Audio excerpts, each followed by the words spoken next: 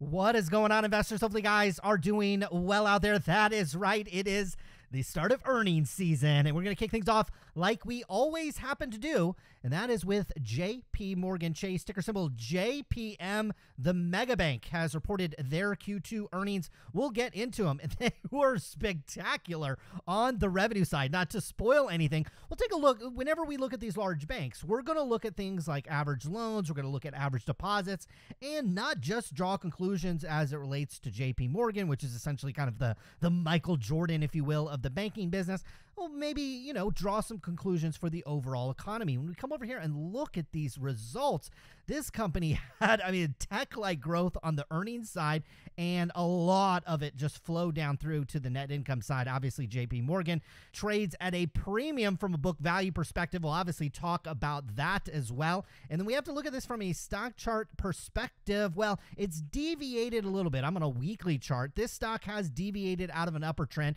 You pull up like a Costco or a Nike, and there's not a lot of deviation in kind of the 30 year chart. JPM has spent some time above the channel and maybe a slightly more time below the channel. But I tell you what, this one also setting up. And we, look, we've been calling this out since Q4 and Q1 of, of last year that there were some good buying opportunities when it came to JPM. Over the last year, stocks up 38%. Year to date, kind of catching a bid with the broader market. We're not just seeing those tech stocks rally. The breadth of this market is starting to expand, believe it or not. JP Morgan getting cut in on that rally up over 10.8% just year to date. The company reported their Q2 earnings. This was on Friday, Friday morning for most people. Revenue coming in at $41.3 billion. It beat expectations by about $2.45 billion, and it was just, and I say just, 34% growth on that revenue side. When you start to look forward with this stock, maybe some more normalizing of that revenue. But as I walk through these earnings, this is a company that continues to grow its revenues by keeping its cost in check, and they're flowing a boatload of money down to the bottom line. Now, the average loans corporate wide was up 13% over the past year, but average deposits, and this is one of the first time we've seen this large of a number, average deposits are actually down. We see on the consumer side average deposits down 2%. However, they note that client investment assets were up 42%, largely due to the increasing stock market, the rapidly increasing stock market as we've seen this year. Another thing that could contribute to average deposits being down is people pulling money from a regular savings account or regular checking account and putting it into an instrument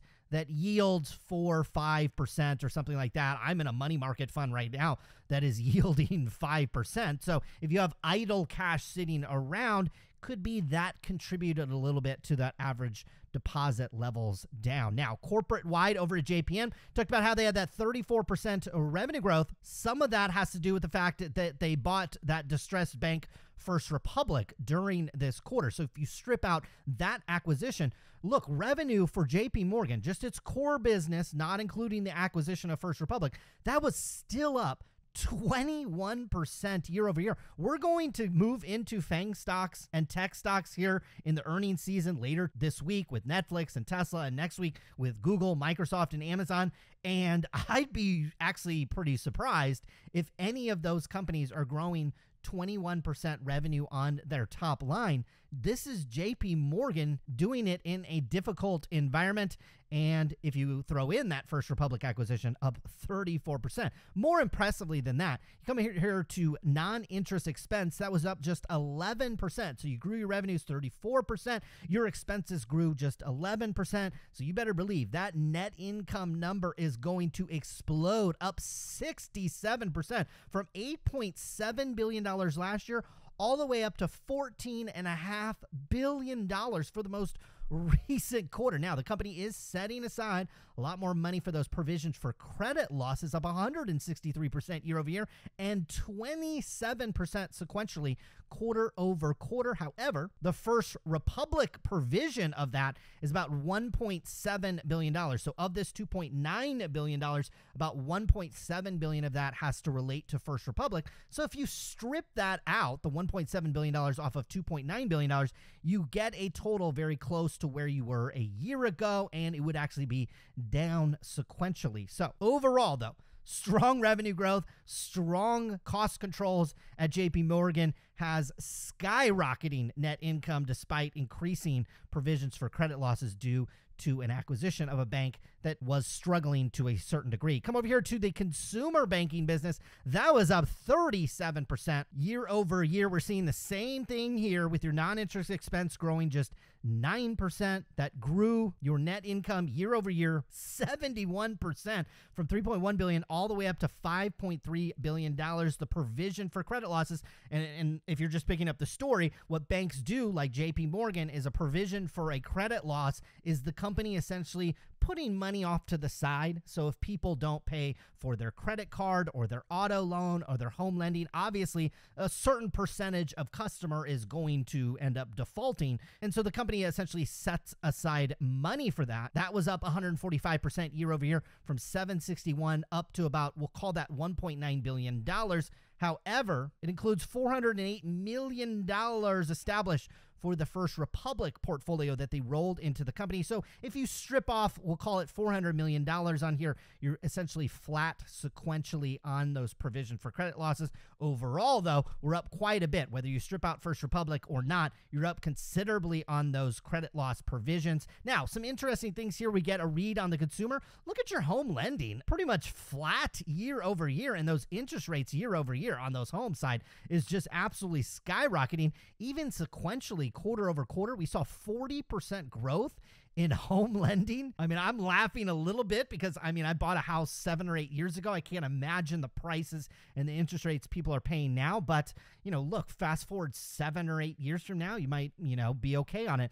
And on your credit card and auto, seeing a relatively steady business there, just up fractionally year over year and actually down sequentially. But again, the overall thing that we're seeing with JP Morgan, strong revenue growth cost controls absolutely in place and skyrocketing net income over at this company. You got your corporate banking, not quite as explosive growth on that revenue side, just up 4% over the last year, but the company did a nice job essentially keeping non interest expense flat year over year. The provisions for credit losses over at the corporate side, very much flat and very much in control. That is going to really accelerate your net income by over 10% year over year from 3.7 billion up to we'll call that 4.1 billion dollars. Come over here to your commercial banking side and boom, 49% growth on that revenue side from 2.7 billion up to nearly 4 billion dollars. Even if you strip out First Republic Bank acquisition, the revenue would still be up 42%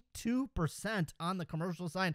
Obviously, JP Morgan seeing a ton of clients walk through the door as you had a lot of banking troubles at the regionals during this most recent quarter. Now, your provision for credit losses skyrocketed from just 200 million last year all the way up to over a billion dollars. 608 million of that has to do with the First Republic portfolio. So there's a little bit of give and take for JP Morgan. They're adding some to the revenue side based on First Republic, but they're also adding some to the provision for credit losses. Obviously, if they don't recognize this, keep in mind that provisions for credit losses is just putting the money to the side. What you could potentially see in subsequent quarters, especially if the economy remains strong and these businesses pay back their loans. JP Morgan actually puts this provision back in to the profit side. You would see parentheses around this number, and it usually does wonders for your net income. Well, obviously, keep an eye on that. And then finally, the asset and wealth management business at JP Morgan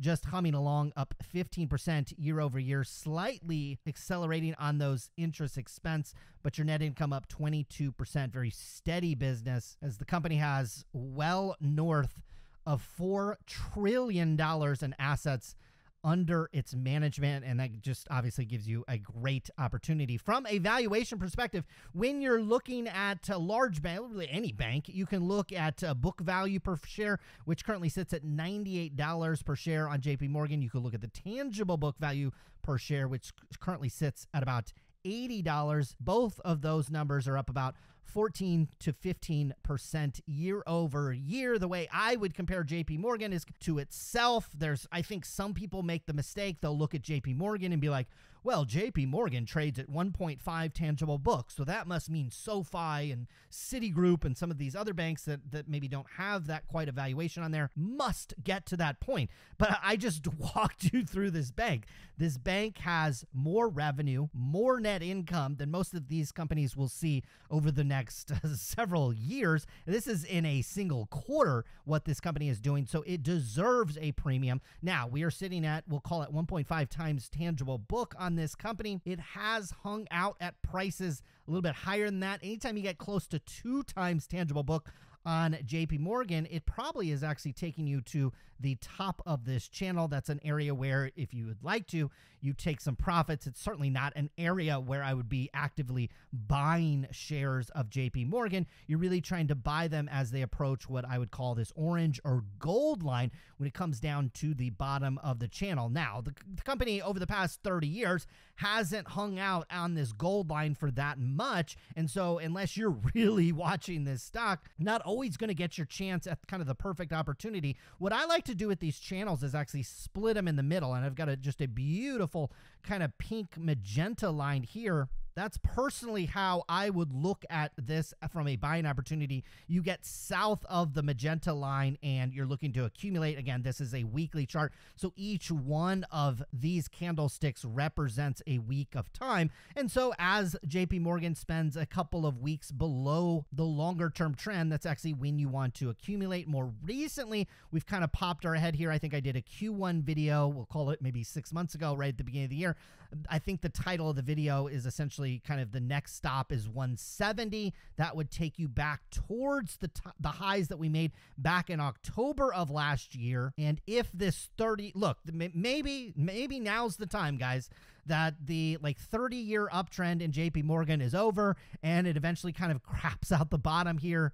I don't really see any evidence of that when we're moving through these financials. So the more likely scenario is that we continue this more than 30 year uptrend on JP Morgan. We make a new higher high. You make a new higher high on JP Morgan. You're getting to at least about 170. You probably have upside into close to probably the $200 mark on this one. Those of you that took my advice to buy the shares back in Q1 when everybody was scared of the banks and running from them, that's usually a great sign to buy a stock. When everybody is scared and talking about how worried they are, that's actually when you probably should buy. I would imagine over the next, uh, we'll call it six months or so, everybody's going to be patting JP Morgan on the back and singing its praises that's probably when you could take some profits if you feel like it. If you are a younger investor, you're a longer term investor, you're just going to let this 30 year trend just continue to play out because as of right now, there is absolutely zero, zero indication that that trend is going to change any time soon. JP Morgan Bank looking to me like it wants to move back to the highs that we made back in October. 170 is easily the next stop on this stock. And these results, while not perfect, are worthy of a premium valuation that will likely continue to increase as the company continues to gobble up market share from a further consolidating banking industry. Folks, that was Jay P. Morgan Chase will be back next week with some exciting earnings videos from Netflix and Tesla. Hopefully, you all have a wonderful weekend. See you again soon, and good luck with your investments.